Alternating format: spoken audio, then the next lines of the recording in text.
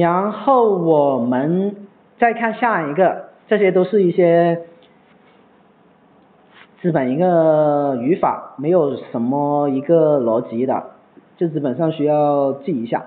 然后接下来我们看一个类类型别名，类型别名呢，在什么地方还会用到呢？在结构体，就是在结构体的时候我们还会用。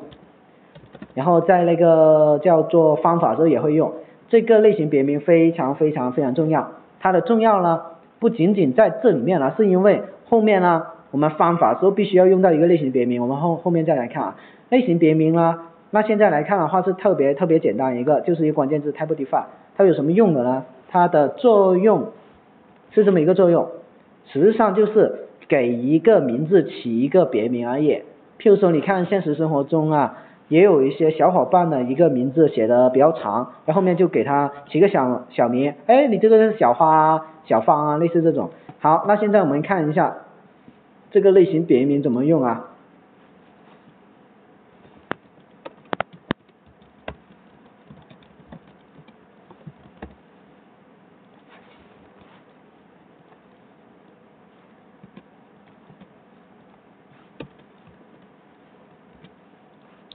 有个关键字 type，然后紧接着假如说我写一个 big int，然后接着就是一个 int 六十四，好，这是什么意思呢？给这个 int 六十四起一个别名叫谁呢？big int 就代表很大一个 int 类型，很大一个 int 类型。好，紧接着你呢后面你写个 big。然后底下写个 a，好，这最终就等价于谁了？等价于 int 六十四 a，写一个这一个，好，真的是这样的吗？我们测一下呗。a type is 百分号 t，看一下它是什么类型。这个 a 是什么类型啊？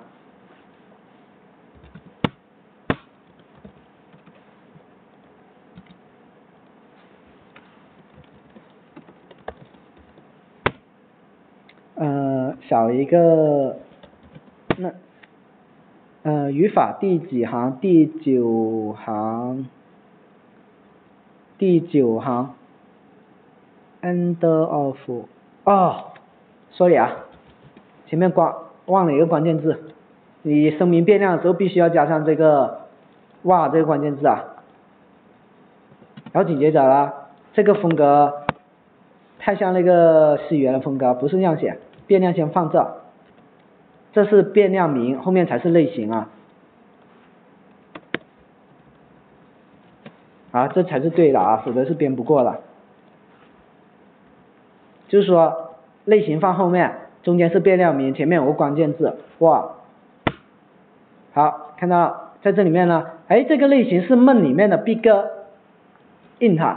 因为它这边后面改了一个这个名字啊，改这个名字，然后接着你同你可以同时进行一个多个多个一起改别名，你加个圆括号，然后假如说我在这边再起一个别名啊，好，long int 给谁起别名啊？六十四，好了，那紧接着我起一个别名，这边没差类型嘛，我起一个别名，它不就有差类型了吗？好，接这一个就叫做 long 类型吗？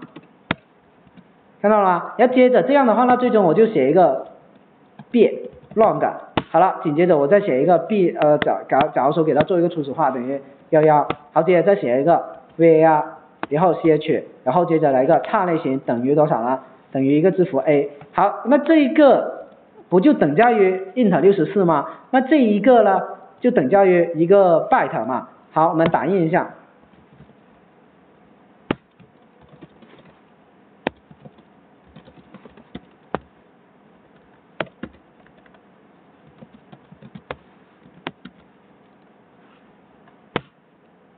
好，你看到，这个是十一，这个就是字符了。